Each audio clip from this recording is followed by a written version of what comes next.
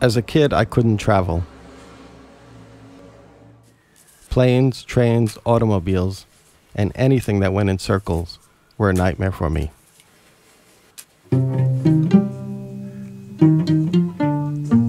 Yet, years later, the fall of the Berlin Wall took me out of Queens and my childhood into the world as an aspiring photographer.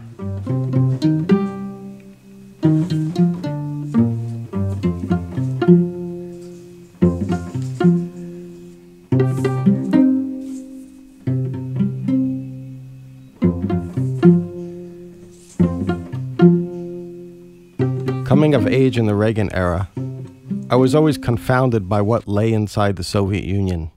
With my first book, Wonderland, I tried to portray the loss of a utopian dream. And as all fairy tales try to teach us, the hard lesson of independence. In some ways, that was my lesson too.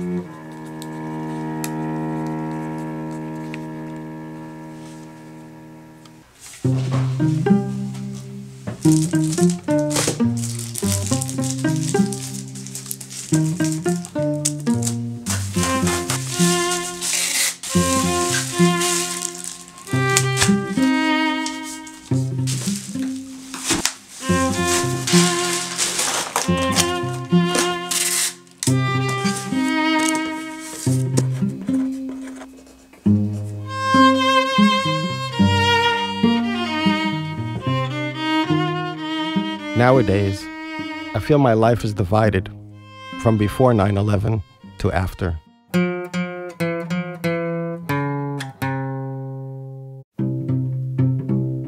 My new book project, The Black Garden, is about monuments and mortality, and about the American empire spreading democracy throughout the East.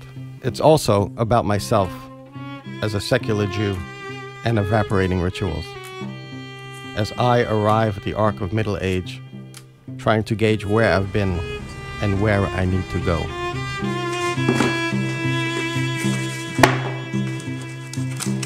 So now I need to unravel everything that went before.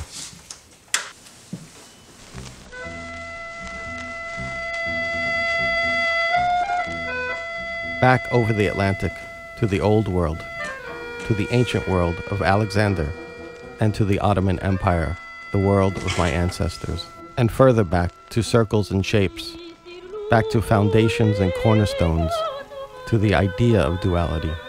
That's the East West divide. That's the Black Garden for me.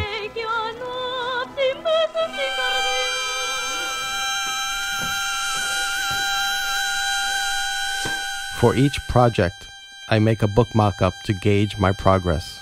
I know I need to return to Turkey the Levant, and the North African coast to complete my project.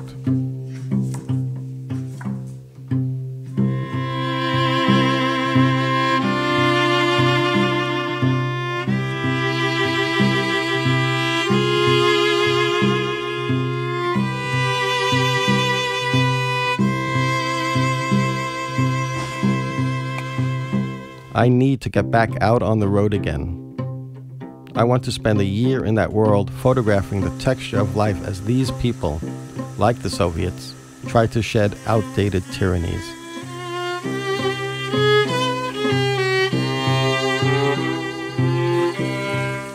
My new book, The Black Garden, is the next chapter after Wonderland, from fairy tales to mythologies. It is an exploration of dark and light, of black and white, of the past and of the world today.